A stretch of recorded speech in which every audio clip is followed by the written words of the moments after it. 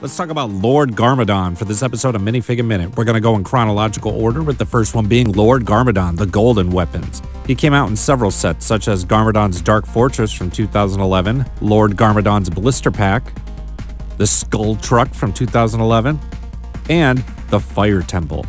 He's currently worth about $4. After that, we've got the four armed version of him, Rise of the Snakes. Came out in a couple sets as well Destiny's Bounty from 2012, as well as the Epic Dragon Battle. He's currently worth about $11. Moving on from there, we've got him with this awesome looking mask and helmet. He only came out in one set, the Temple of Light. He's currently worth about $14. Then we're going to take it back a little bit to Lord Garmadon Sensei Rebooted.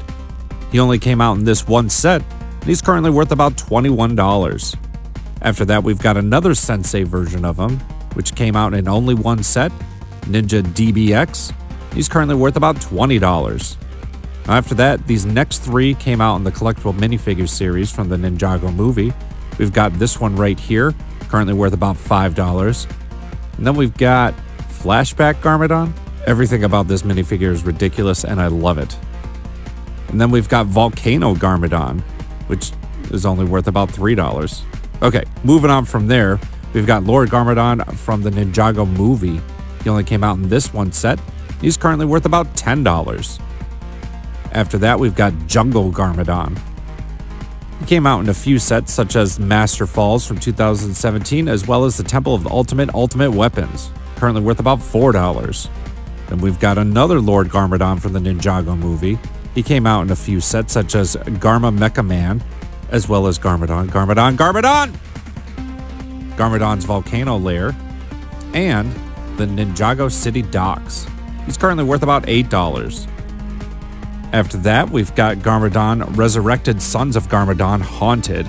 Came out in the Temple of Resurrection from 2018, as well as this set from 2018, currently worth about $22.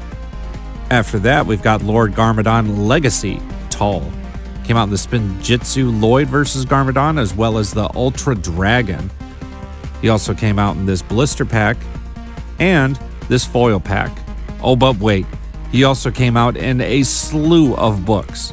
We've got this one, we got that one, we got this one right here, we got that one right there. I mean, they're all essentially the same book, except they're just in different languages. He's currently worth about $4. We're down to the last two Garmadons. We got Lord Garmadon Legacy, which came out in two sets, such as Kai's Fire Dragon, as well as this Blister Pack.